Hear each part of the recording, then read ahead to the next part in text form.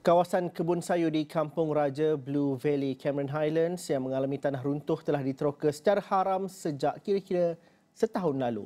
Pegawai daerah Cameron Highlands, Said Ahmad Khairul Anwar Al-Yahya Said Abdul Rahman berkata, kebun seluas kira-kira 4.31 hektar di hutan simpan Sungai Wi, sektor D pernah disita dan pengusahanya yang berusia 33 tahun pernah ditahan pada April tahun lalu.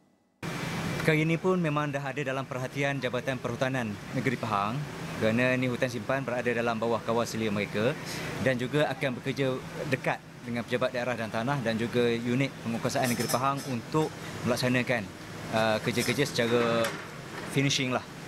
Walaupun ada permohonan, namun Jabatan Perhutanan tidak memberi sokongan kepada permohonan tersebut. Beliau bercakap dalam sidang media ketika meninjau operasi mencari dan menyelamat di pusat kawalan bomba pada Sabtu.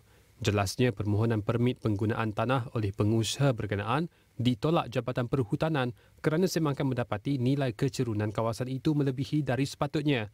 Beliau berkata berikutan kejadian tanah runtuh, tindakan bersepadu akan dilakukan oleh semua agensi.